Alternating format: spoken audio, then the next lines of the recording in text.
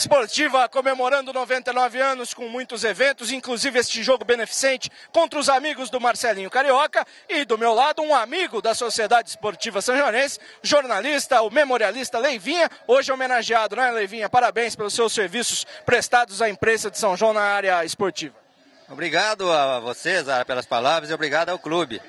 Esse clube de 100 anos que está se aproximando, Sociedade Esportiva São Joanense, um clube que eu aprendi a gostar desde criança, porque aqui perto eu nasci, aqui fui criado, aqui joguei e até hoje frequento e gosto muito de todos que fazem parte da atual diretoria.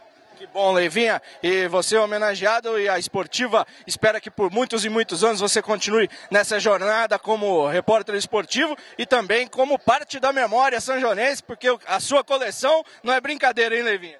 Graças a Deus, essa coleção eu fui guardando, guardando, todo mundo hoje curte é uma relíquia do futebol são joanense que precisa ser preservada para todos os tempos. E a Esportivo faz parte desse, desse arquivo meu com os seus 100 anos de existência. Muito obrigado, Leivinha. Leivinha que contribui com o projeto do centenário da Sociedade Esportiva São Joanense, com muitos vídeos, fotos e tudo que você vai conferir até 2016 no site ces.com.br e também no Facebook oficial da Esportiva São you.